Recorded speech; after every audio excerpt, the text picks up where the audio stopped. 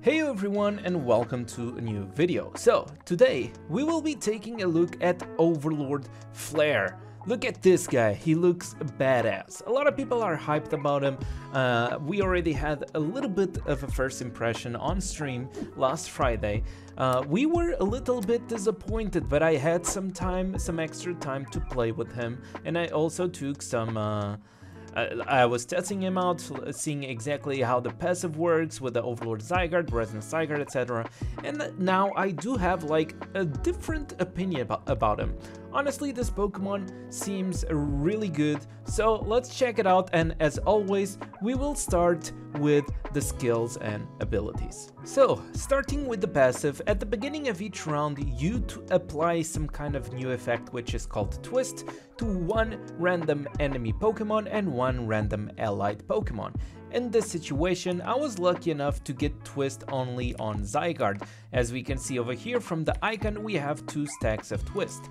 This happens because also at the when you join a battle, you apply one stack of Twist to yourself.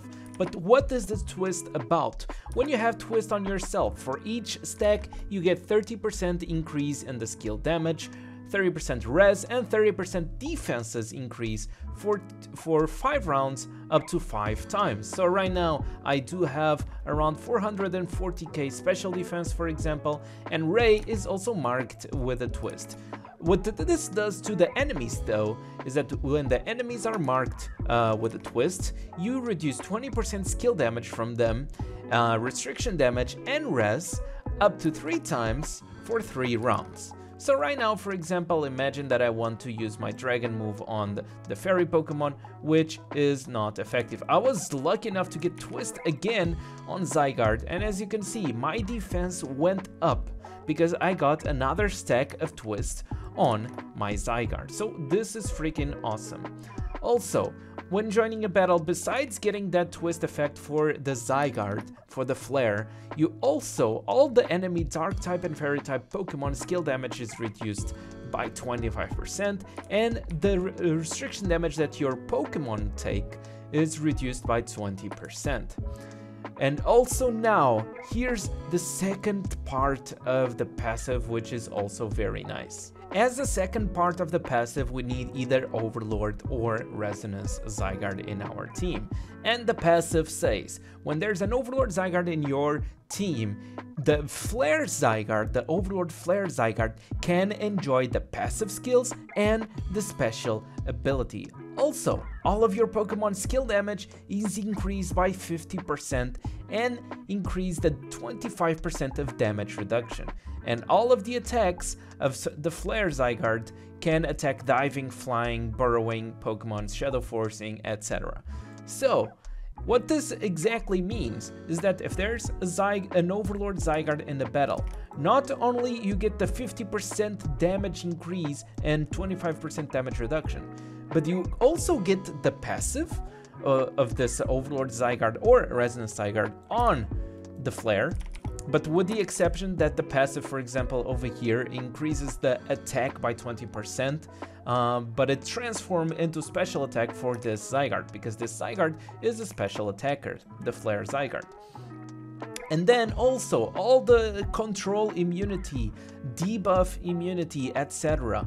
This everything of this goes to Flare Zygarde. Not just that, but also the special abilities. And what they, what they mean by special abilities is actually the first abilities that are Rarity SS, which are abilities that are special to Zygarde. And of course, one of the most important ones being Z, when attacked by Ice type, Dragon type, and Fairy type skills, reduces the damage taken by 50%, which is awesome. In the case of Resonance Zygarde, exactly the same thing happens, uh, with the exception that the passive is only a little bit different, gives you 30% attacks instead of 20% uh, of the of the Overlord. Sadly, Resonance has his own second ability, so, which is the Resonance ability actually, but this one is not getting inherited into Flare. Uh, I have a feeling if this thing would be inherited into Flare, Flare could be way too strong, but I'm not too sure about this. Also, I did uh, talk with Simon Lee, like asking if this was intentional, if there's any plans, because it would make sense since the Flare uh, passive says that it inherits all of the uh, special abilities. It would make sense that since th this is a Resonance Pokemon, a Resonance Tiger with his own special ability, this ability should go to Flare. So right now this is not happening, but who knows in the future that this might happen. Going to skill number 1, we have Prison Light Dragon type skill with 120 skill power, ignoring and dispelling Guardian Souls and dealing special attack damage. When attacking enemies that have Twist, you deal 100% extra power damage, and this attack absorbs and converts 50% of the damage that it deals into your own HP. So technically, this does a lot of damage, and I did not crit. If it, it was a crit, it would be a one-shot. On the Z skill over here, though, ignoring it's basically the same thing but if the enemy has twist which is this over here and we apply twist on these two rounds we apply to the, to the other two guys so there's nothing much we can see basically if the enemy has twist you deal 150% extra damage and get one layer of twist effect to yourself so right now we are at three stacks and if this is working properly at the moment we use the attack, we go up to, to the 4 stacks, and then it's our round again, which means that we go up to the max stacks, which is the 5 stacks. And we are at one awesome already 600k defense, special defense. Going to skill number 2, we have a ground type group move skill, which basically just dispels, ignores and dispels uh, shields, uh, but uh, pay attention that this means shields and not guardian souls. It's like the, those little uh, white bars that you guys sometimes see on the Pokemon. So it will dispel shields and on top of that it also deals damage based on 30% of your own HP to Pokemon that have the twist effect. So right now I'm going to use it on Hoopa just to see and we do extra damage because we applied, uh, the enemy has the twist effect so we did damage based on our 30% of your own HP. But also over here if you use the Z uh, skill of this, uh, the Z version of the skill, you do damage based also on 50% of your max HP, and you instantly get one layer of twist to yourself as well. Right now we got confused, so this was not a good thing to do, and let's try it out now. And based on 50% of your own HP it's just something crazy. Going into the skill number 3, I believe this will be one of the most used skills of this Pokemon. It's a group type skill that ignores uh, Guardian Souls. This time it's actually Guardian Souls, okay. And also what it does, it applies Twist to all the enemies. And not just that, for each enemy that is uh, that is you twist, you increase your own speed and skill damage by 25% for two rounds. So basically right now we have 103k speed. If we use this, how much speed do we go to? Let's see. We go to 141k speed. So I believe we did indeed get like, uh, since we twisted like two enemies, we did probably get like around 50% in battle speed of a buff, which is insane. The Z version of the skill basically does nothing, the only thing that it does extra is that it probably gives one stack a twist to yourself, just like the other skill. We can see over here, let's see, and use the skill, you get the 4 stacks. So that's the only thing that you do. And this thing actually stacks. For each Pokemon that you attack with this, it seems that you get that buff. for each Pokemon that you attack with this. But uh, take a... Just keep in mind that this, this buff lasts for two rounds. But it's still a crazy move to open the battle with. Like, since you get so much speed, usually if you're going to play this Pokemon, you might be slower than the enemy, but you will be tankier. And with this, you probably get enough speed to basically, you just use this to open the battle, and you might get enough speed to just attack again, which will be very nice. And finally, we get to the skill number 4, which is the ultimate Core Terminator. Ignoring and dispelling Guardian Souls, and dispelling the target's buffs, and Focus Light. What this means with Focus Light is, for example, if the Pokemon has a Spotlight activated, we'll dispel the Spotlight, which kinda seems a little bit pointless to be honest. Uh, says uh, if it would dispel the spotlight on a passive, but like having to attack the spotlight to dispel it and having to use the ultimate against the spotlight to dispel it, I mean, the spotlight will be already dead most of the time, so kinda seems a little bit pointless, but let's move on. Then there's one very interesting thing.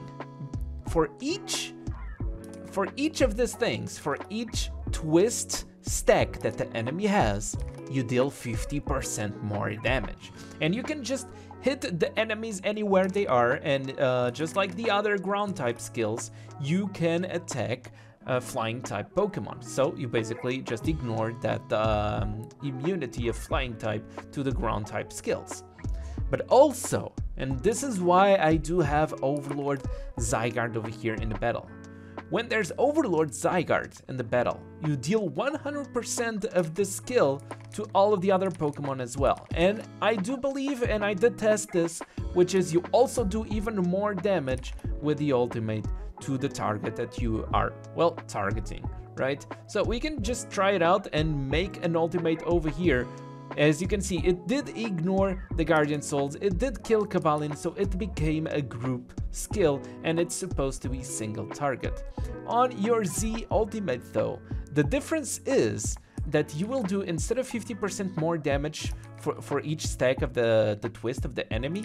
Right now you have Zoroark with the twist stack, we can see over there and over here on the icons. Now, for each stack that the enemy has, you'll deal 70% more damage. And if the enemy has buffs, instead of dispelling them, you actually absorb them. So basically you just absorb the buffs and you are able to use the buffs against them. Which is honestly really crazy to think about. Uh, now, now, now, now, now, my idea about this Pokemon is that it actually can become a very decent Pokemon indeed.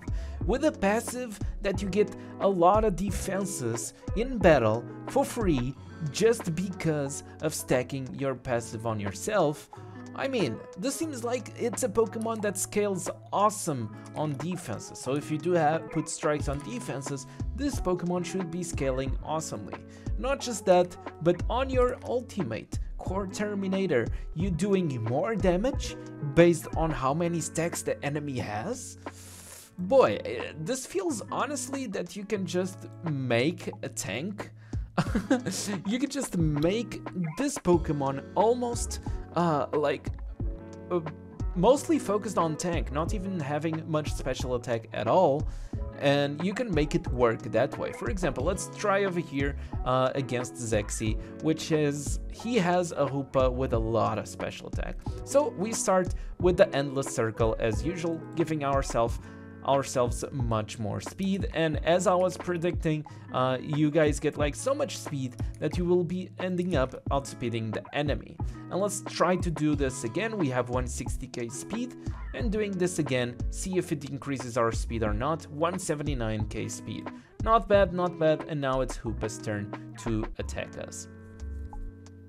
Over here Hoopa did not do much damage Two reasons. Passive reduces the dark type skill power and also reduces restriction damage. I don't have much damage reduction though still, but I have 4 stacks of my passive already. And honestly, with Hoopa having 3 stacks of passive, I believe that I can just do this and one shot to Hoopa.